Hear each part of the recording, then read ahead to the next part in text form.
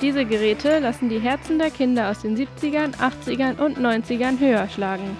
Heute findet man sie in der Ausstellung Hot Stuff.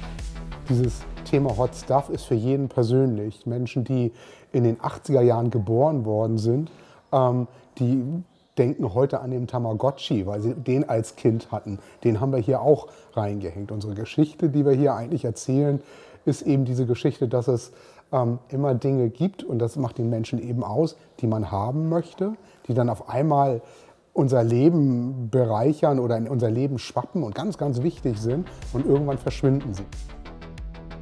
Der jeweils neue heiße Scheiß waren auch die Musikplayer der verschiedenen Generationen, vom Walkman bis zum iPod. Aber nicht nur Elektronik ist hier ausgestellt.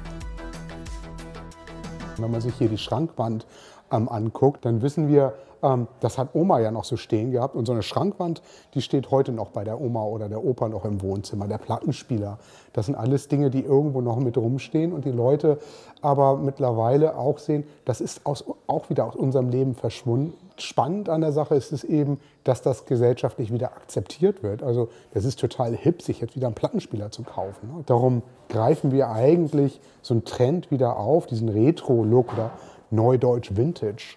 Das ist ja also ein ganz, ganz großes Thema und bilden das hier ab. Ob Schreibmaschine oder Urlaptop, hier gibt es Geräte zum Anfassen und Spielen.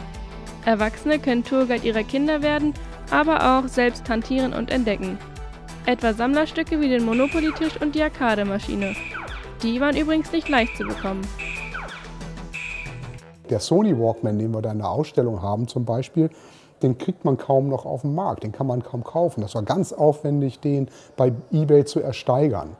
Und darum haben wir gesagt, auch das ist irgendwie ja Archäologie. Auf einmal ist es weg und man fragt sich, warum ist es weg?